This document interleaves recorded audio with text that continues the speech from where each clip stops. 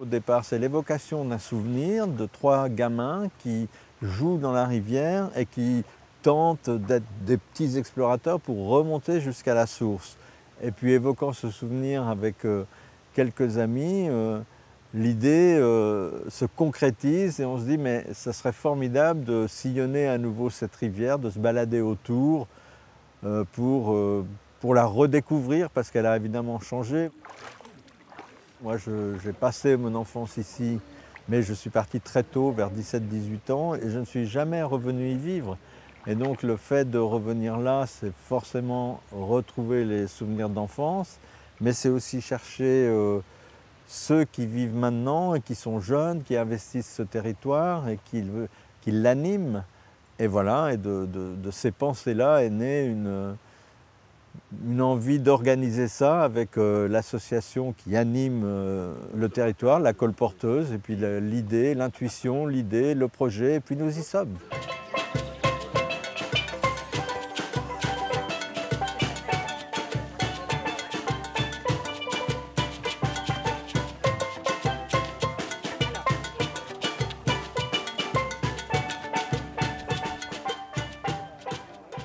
C'est une démarche euh, avant tout de, rassembler, rassembler les gens euh, pour euh, faire ensemble, collaborer, permettre de tisser du lien entre les différentes personnes, qu'elles soient simplement des individus lambda ou des gens investis de façon associative sur un territoire. C'est permettre de créer des lieux de rencontre ou un lieu de possible, quoi, un lieu d'imaginaire où on peut, comme on, le, dit souvent nous, rêver les yeux ouverts et, voilà, et faire ensemble. Quoi.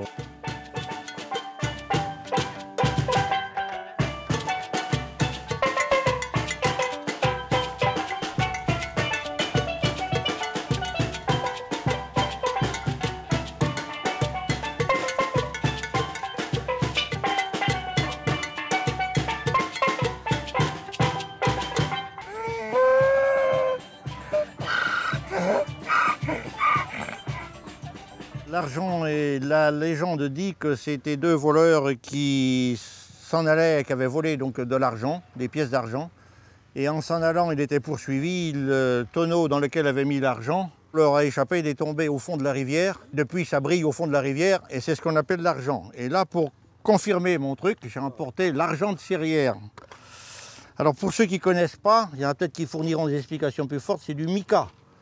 Pour ceux qui veulent voir, mais euh, justement, l'argent, c'est peut-être dû au fait que quand on regarde cette rivière, ça brille au fond et on a l'impression d'être avec de l'argent. Donc en fait, l'idée de la randonnée, c'était de suivre une rivière avec un âne. Donc les gars, ils ont décidé de prendre un âne qui a peur de l'eau. Donc c'était bien. Tu fais des détours. Le mec qui avait l'âne, Patrick Jay, parce que c'est à, cause de lui tout ça. Hein. À chaque fois que tu arrivais pour traverser un gars, il disait Une fois, j'en ai pas fait un en Ardèche. Donc tu te disais, c'est lui qui est, responsable, il sait de quoi il parle. Et à chaque coup, au bout de 10 minutes, un quart d'heure, il disait Peut-être qu'il va pas passer finalement.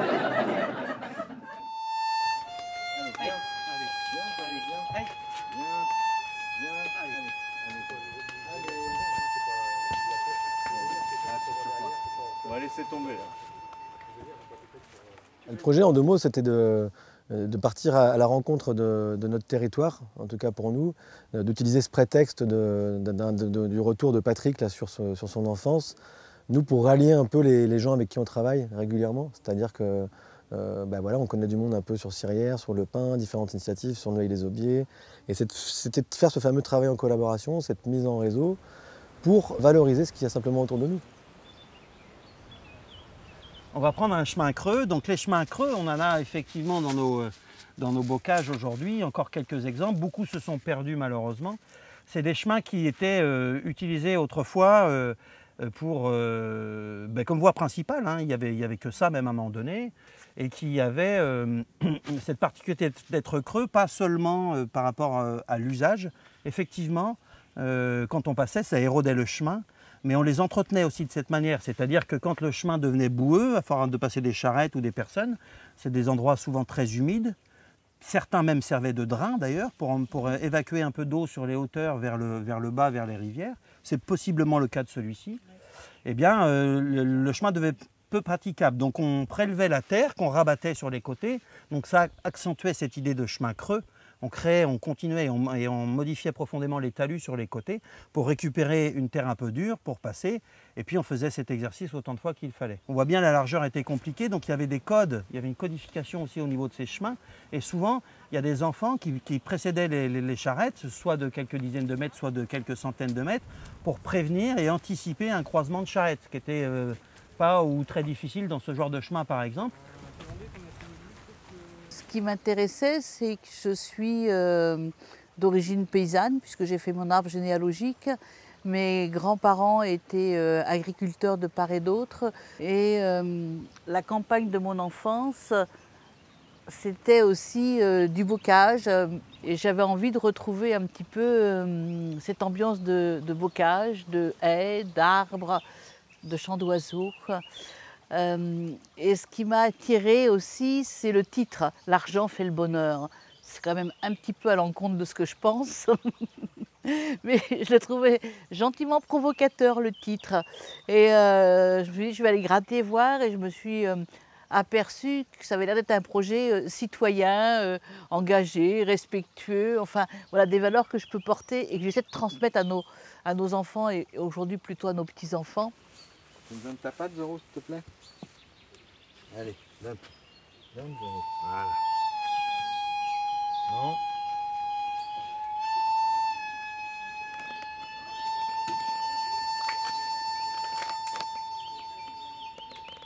Zoro, il est en train de se tromper, Joël.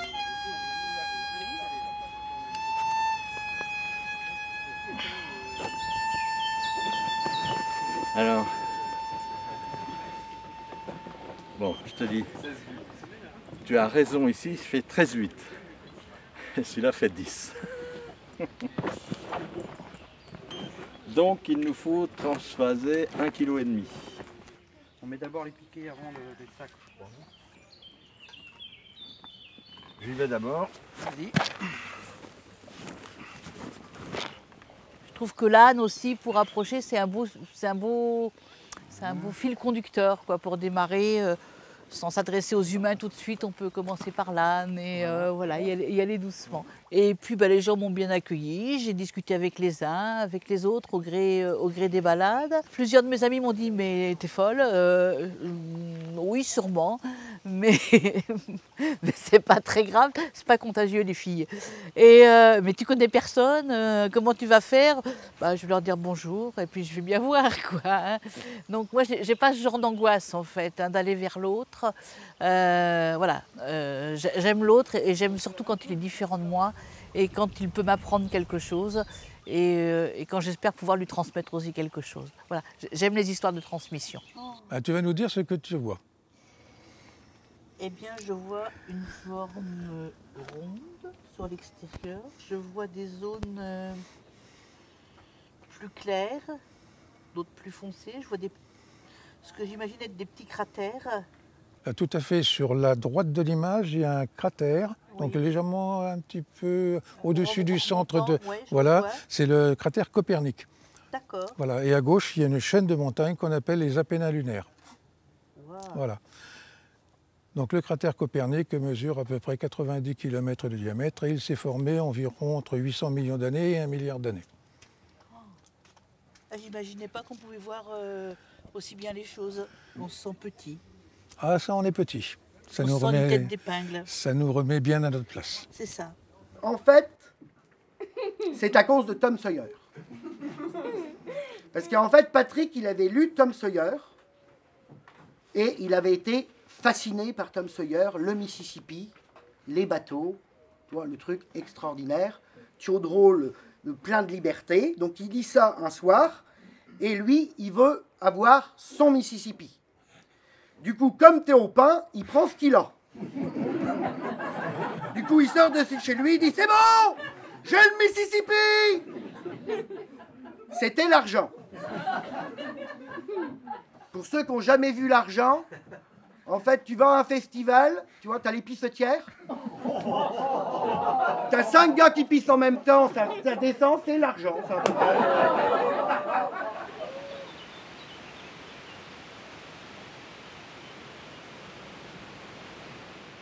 Les cours d'eau en France, globalement, sont en très mauvais état.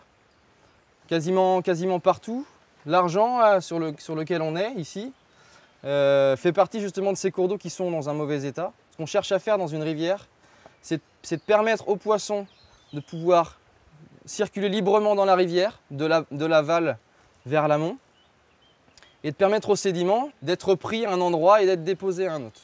Donc cet ouvrage-là, il était en béton, il ressemblait à peu près à ça. Voilà, c'était un ouvrage béton tout droit, euh, euh, sans forcément valeur- sans aucune valeur patrimoniale. Vous imaginez bien qu'un barrage droit qui fait un mètre de haut, le sable, les cailloux, les limons, ils sont complètement bloqués à l'amont. Ils ne peuvent pas circuler librement. Donc on est parti du principe qu'on supprimait complètement l'ouvrage et qu'on le remplaçait par quelque chose de franchissable. Donc vous l'avez devant les yeux, ce qu'on a fait, c'est qu'on a, mis ce qu'on appelle des granulats, des, des gros cailloux. En fait, c'est un mélange de petits, de moyens, de gros cailloux pour que l'ensemble se tienne bien. Donc ça, c'est la photo, ce que ça donne juste après les travaux. Et l'avantage de, ce genre d'aménagement, c'est qu'au moins les sédiments peuvent passer et les poissons peuvent passer également. En fait, on a rétabli la continuité écologique, c'est-à-dire qu'on a là maintenant, on a pu permettre aux poissons de remonter et aux, sédiments de- circuler librement. On est beaucoup attaché à la tradition orale, euh, c'est-à-dire du, bah, du passage de la parole et, et de la transmission, mais qu'elle soit euh, sur de la mémoire collective, sur de la transmission pédagogique concrètement pour construire un mur ou faire une charpente. Euh, effectivement, on est, beaucoup sur cette thématique-là. Euh, le colportage, c'est aller vers, recueillir, euh, être, avec les gens et du coup bah, pouvoir après parler de, l'environnement dans lequel on est. Ça crée des dynamiques dans des communes, sur des, sujets de la mémoire collective, sur des, secrets, parfois des, informations que les gens n'ont jamais données à personne, mais dans le cadre du collectage, elles se livrent un peu. C'était un, un conscrit agent constant, toi, oui. Oui. Mais c'est que vous avez un peu euh, vieilli. Ah bon Paraît-il que vous vouliez savoir l'histoire du souterrain. Je, je vous dis d'abord que j'ai toujours entendu parler, mais tout à l'heure j'ai parlé avec Béatrice, j'ai parlé avec d'autres. Elles sont comme moi, on a toujours entendu dire qu'il y avait un souterrain dans le bourg du Pin.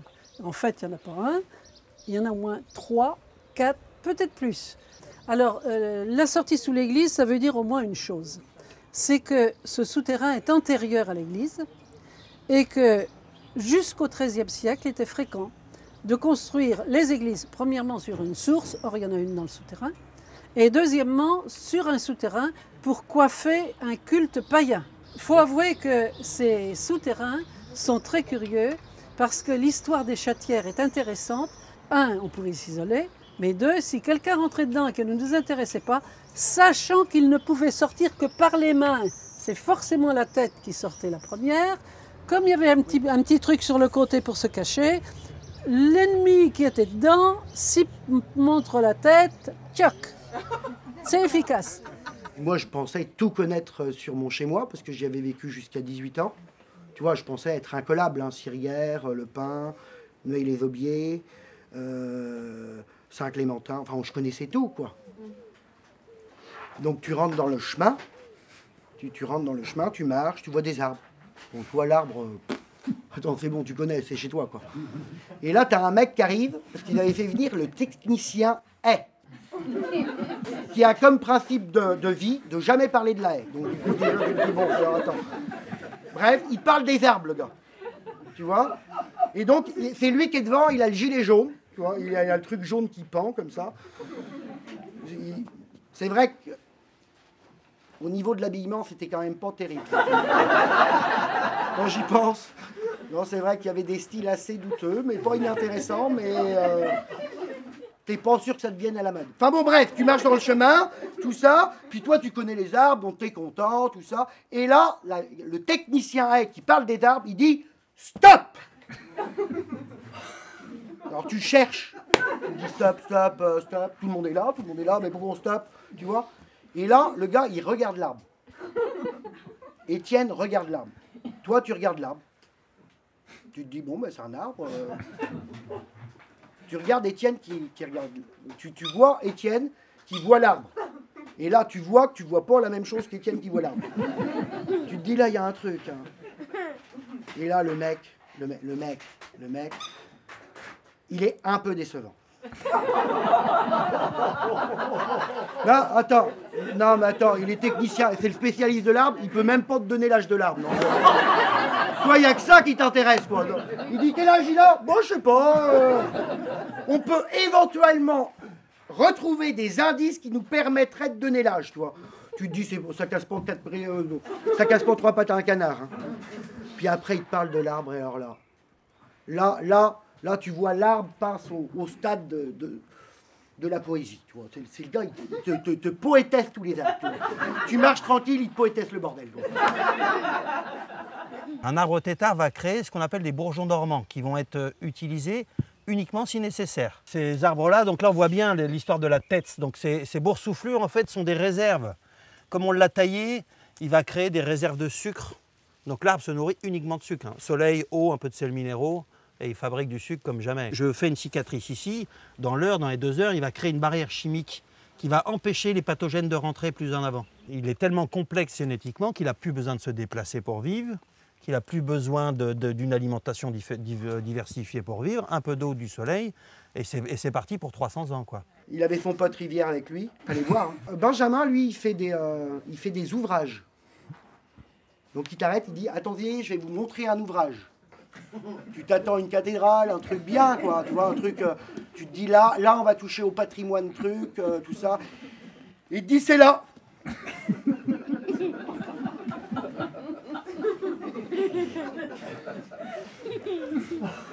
Puis tu te dis C'est. C'est, les deux piquets avec la planche là Tu es vachement déçu quoi. Tu t'attendais à un truc bien quoi. Tu, tu vois, et le mec il fait un ouvrage, il a mis deux piquets puis une planche. Enfin bon, je vais dire, euh, ok. T'as Étienne qui est là, putain, il est bien fait ton ouvrage là.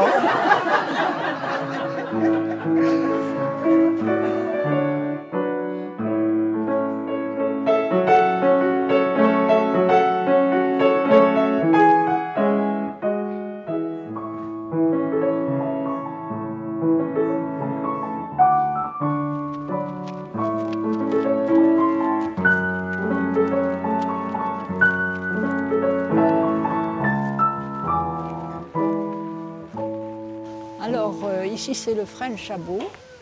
Et c'est la demeure la plus ancienne de Neuilly, les Aubiers. Je sais tout ce qui s'est passé ici depuis 1200. Je vais vous raconter une petite histoire qui, concerne euh, la- l'argent. C'était euh, donc euh, Marie, qui était la femme de Stanislas, Stanislas étant jardinier. Moi, je devais avoir, je ne sais pas, peut-être 8 ans quand elle m'a raconté ça. Euh, une croyance qu'elle avait sur euh, la rivière, qu'il fallait que je fasse très attention à la rivière et que si je ne faisais pas attention, elle y croyait ferme, hein, euh, je rencontrerais des chandelles. Alors, elle m'avait décrit les chandelles que elle, elle avait vu ou entendu parler, ou elle connaissait des gens à qui il aurait été arrivé ce malheur. Alors, c'était un faitout avec des grosses flammes au-dessus. Et ce qui était terrible, c'est quand on était de l'autre côté de la rivière, on voulait traverser et chaque fois qu'il y avait un pont, il y avait cette chandelle qui se mettait devant les gens, qui, ça les effrayait énormément. Euh, la nuit, euh, ça illuminait tout. Enfin, c'était quelque chose de catastrophique. Et elle a connu des gens qui n'ont jamais pu traverser toute la nuit la rivière.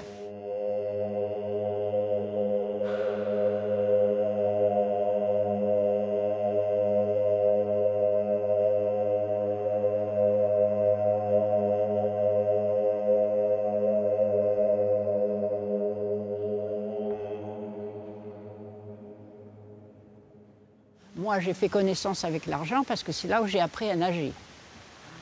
Parce que c'était notre piscine, nous, on n'avait pas de piscine. Tous les, tous les après-midi, on allait.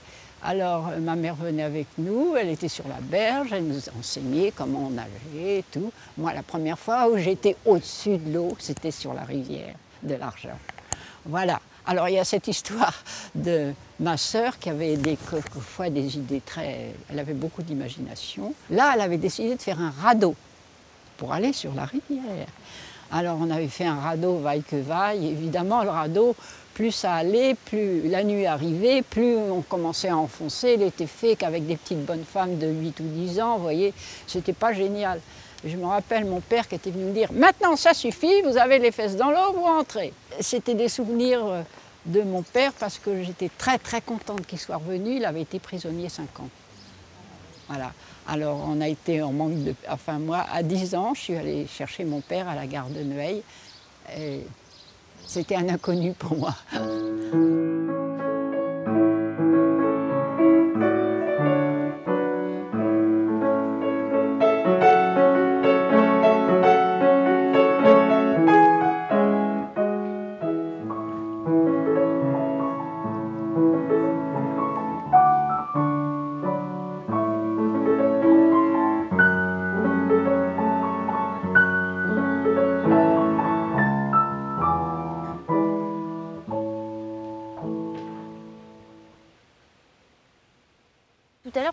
À ramasser des baies.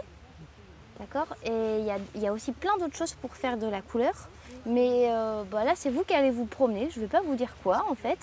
Et je vais juste vous dire la technique qu'on fait, qu'on utilise pour pouvoir récolter de la couleur. Et puis qu'après, bah, on puisse faire un petit dessin, euh, croquer quelque chose et qu'on se serve de nos pinceaux, en fait. Du coup, on prend une feuille, d'accord Et la technique pour récupérer sa couleur, c'est de voir en frottant. Ça peut être une fleur, comme ça peut être des, fleurs aussi. Et donc voilà, du coup, vous, allez, ça peut être des baies aussi. Et donc celle-ci, en fait, suffit juste de récolter les pétales et la fleur et de le, dissoudre. Alors dans l'eau chaude de préférence, ça fonctionne mieux. Mais rien que ça, et du coup, en secouant, en attendant, elle va, elle va faire sortir son jus. Donc après, Joanne, tu prends ton tissu comme ça, pied là, ah, T'appuies et puis tu, tu essors. Et tu presses, tu tournes. Vas-y. Tu vois, regarde, là, hop, ça coule partout sur ta main.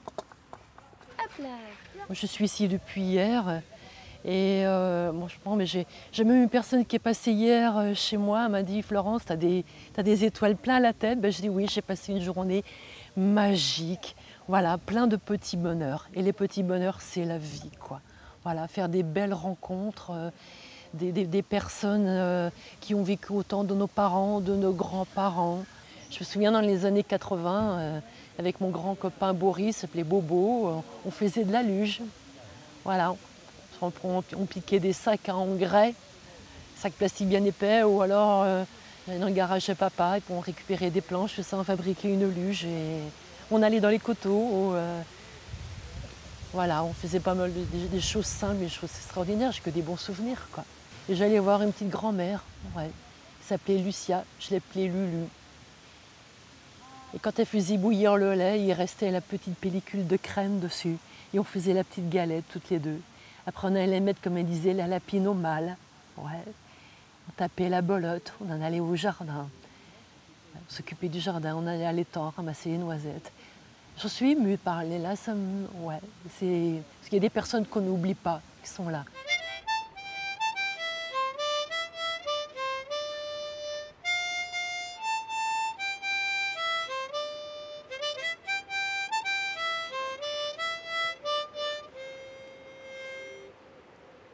Quand j'étais euh, ado, je rêvais d'un monde comme ça. Des gens qui viennent, plein de gens de différents horizons et qui se baladent et puis qui, euh, qui passent du bon temps ensemble.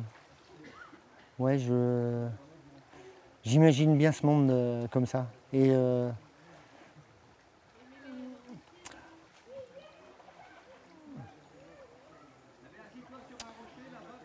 quand je vous ai vu arriver en fait, ben, j'ai dit waouh, c'est une bande de copains. En plus, ils sont pas que ils sont très ouverts aux autres. Et euh, ben, c'est génial, moi c'est ce que j'ai toujours voulu en fait.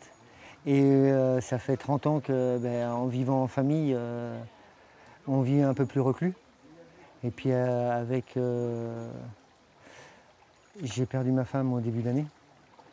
Et en fait, ça a carrément changé ma vision du monde, ma vision de moi-même. Qu'est-ce que je veux, qu'est-ce que...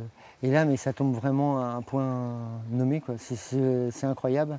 C'est pour ça, quand je vous ai vu, j'ai dit, ben, je vais faire la randonnée avec eux. Ouais.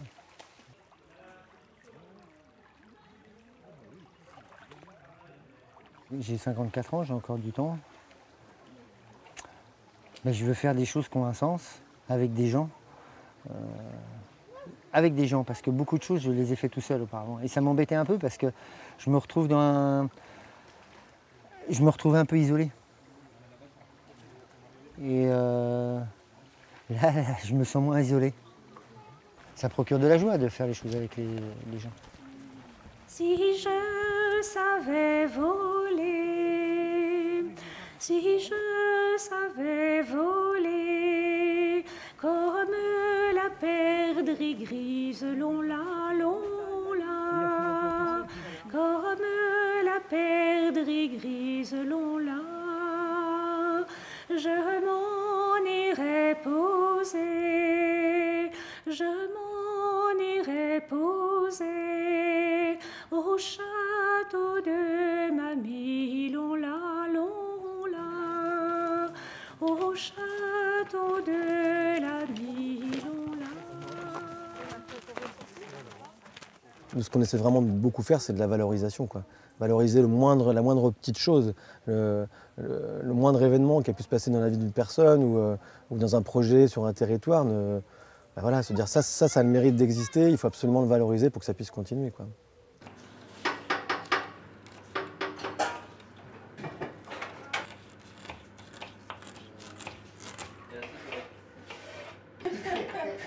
Bon bah bienvenue à toutes et à tous. Donc vous êtes euh, au plat de résistance. Aujourd'hui on est 11 dans le, on va dire dans le conseil d'administration. Et on a trois grands domaines d'activité. On va dire c'est euh, du coup une partie production agricole. Donc on va aller visiter la partie euh, aquaponie, élevage de truites avec des bacs de culture. Et puis après sur le terrain qui fait un hectare autour, il y a 150 arbres fruitiers de plantés. Et le tout se mange donc du coup dans l'une des deux- deuxième activités qui est euh, la cantine. C'est une cantine associative, donc avec une partie on va dire ici à la ferme, et on s'approvisionne que à partir des produits euh, locaux, bio, euh, des paysans du, coin, à 20-30 km à la ronde. Et puis après il y a aussi une partie cantine mobile, donc là où on va en fait sur des concerts, des festivals, mais aussi des manifestations, des grèves, par exemple les grèves pour le climat que les jeunes ont pu faire sur Bressuire, ou les manifestations contre les retraites, euh, le moulin du rock qui a été occupé à Niort, on a fait un repas là-bas, enfin bref, euh, voilà, ce genre de... Donc on est aussi une association euh, militante. Il y a 150 truites là-dedans, donc elles arrivent, elles, font euh, 120, 130 grammes. Et ensuite, euh, elles font 450, 500 grammes euh, quand on les pêche. Aquaponie, donc ça vient de aquaculture et de hydroponie. Donc aquaculture, euh, l'élevage des poissons, et hydroponie, euh, la culture hors sol. Et sinon, il y a une partie de l'eau qui va dans les bacs de culture de l'autre côté. On va aller voir tout à l'heure. Et l'eau revient par le gros tuyau, une fois qu'elle est épurée grâce aux bactéries et aux plantes qui sont là-bas. Ben voilà, il y a un peu de tout. L'idée, euh, c'est encore en- d'expérimenter, hein, d'essayer, etc. Il y a eu plusieurs essais entre euh, des tomates, euh, fraises, choux, salades. Ce qui est bien, c'est pas mal, c'est des plantes aromatiques pour pouvoir euh, pour la cantine. Donc du coup, ça permet voilà. Et puis aussi, euh, j'ai beaucoup, beaucoup utilisé les bacs de culture pour pouvoir multiplier des plantes pour après planter sur le terrain.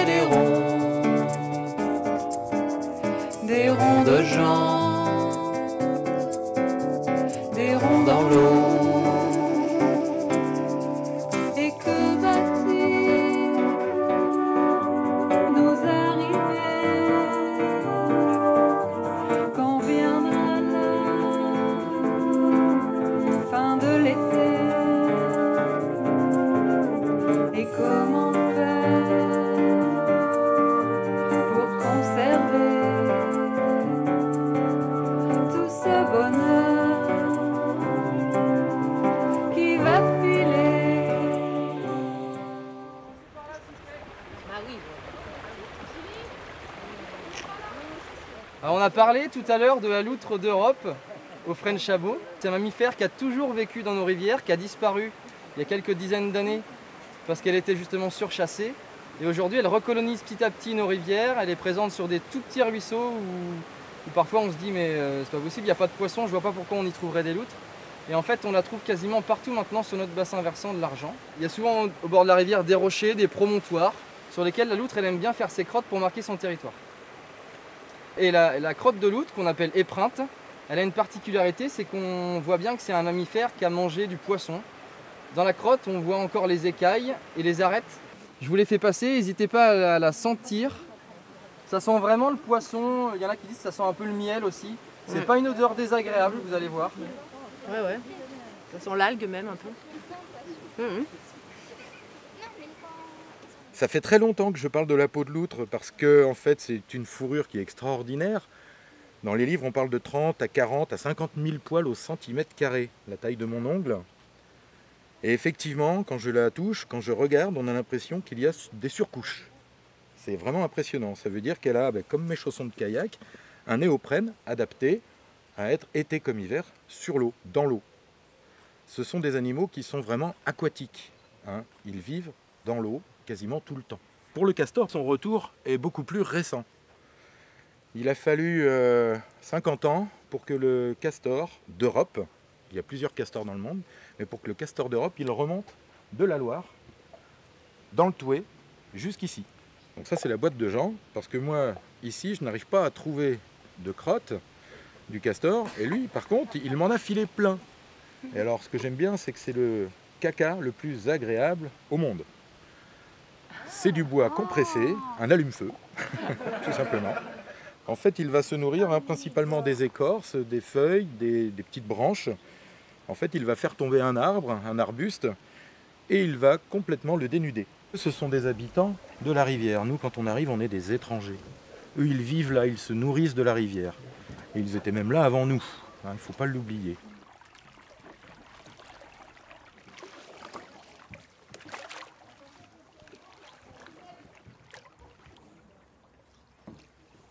J'ai descendu l'argent en marchant, là où les oiseaux du matin au soir chantent. Je suis un enfant de la ville, j'y ai même fait ma vie. Mais une semaine ici et tout de suite mon regard change. Un bruit derrière un buisson, celui du vent sur le ruisseau. J'en ai des frissons, la nature c'est puissant. Je suis comme un œuf au soleil, j'ai la peau rose. Mais j'avance sereinement si devant moi je vois Zoro. Cette activité, enfin, cette chose, c'est super. On est proche avec la nature et c'est génial, c'est trop bien.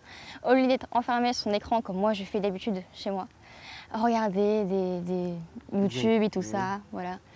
Et ben profitez de la nature qui est juste à côté de vous. Juste mettez un pas dehors et je vous promets que c'est c'est génial, vraiment. C'est incroyable. Un bivouac, je le referai dans ma vie. Ouais. C'est sûr, certain. c'est trop bien. C'est pourtant c'est simple, hein, mais c'est trop bien. Puis euh, je pense le fait aussi d'être dehors, de voir les étoiles, c'est vrai que c'est.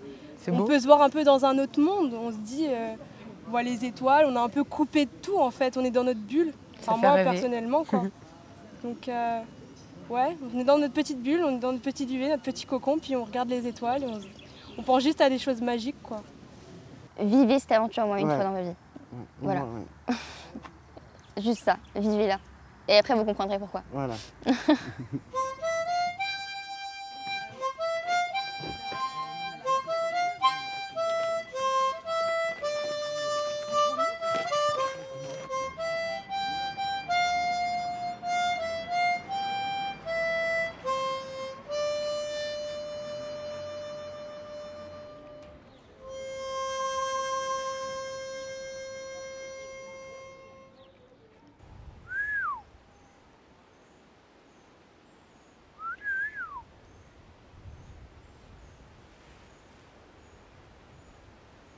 Marcher, c'est comme être sur une île. Quand on marche, il y a 50% des trucs qui se passent dans sa tête. Tu vois, moi par exemple, j'ai pas vu tout ce qu'a vu Étienne, c'est pas possible parce que j'en serais malade. Chacun a vécu son voyage. Il y a des moments où on était ensemble et des moments pas ensemble. Et à la fin de tout voyage, chacun a une histoire à raconter. Parce que juste au moment où le voyage se termine, on commence à le déformer. Parce qu'on commence à le raconter. On invente, on exagère, on en fait des pataquès. J'ai donc toujours aimé beaucoup voyager et j'ai quand même constaté que j'ai toujours emmené avec moi l'âme de ce pays, tu vois, ou même les gens de ce pays, enfin tout ce que j'ai appris quand j'étais gamin. Et ça, forcément, ça, t'interroge puisque toi, tu te sens euh, euh, plutôt citoyen du monde et, pourtant, c'est un tout petit coin de, de- de territoire de bocage que tu emmènes avec toi, tu vois. Si ça se trouve, un vrai voyage, on peut le faire que chez soi. Chez soi parce qu'on connaît, on connaît toutes les petites histoires. On rentre dans les interstices, on rentre dans l'invisible, on rentre dans des choses que les autres ne peuvent pas voir. Étienne nous a montré les secrets de l'arbre, Benjamin les secrets de la rivière, Guillaume les secrets des bruits nocturnes. Et tous les gens qui étaient avec nous, maintenant devenus vieux, nous ont raconté leur vie. On parle parfois du bocage comme un lieu étant un peu fermé, les gens sont derrière la haine, euh, ne sont pas trop en lien, mais on a vu tout l'inverse cette semaine.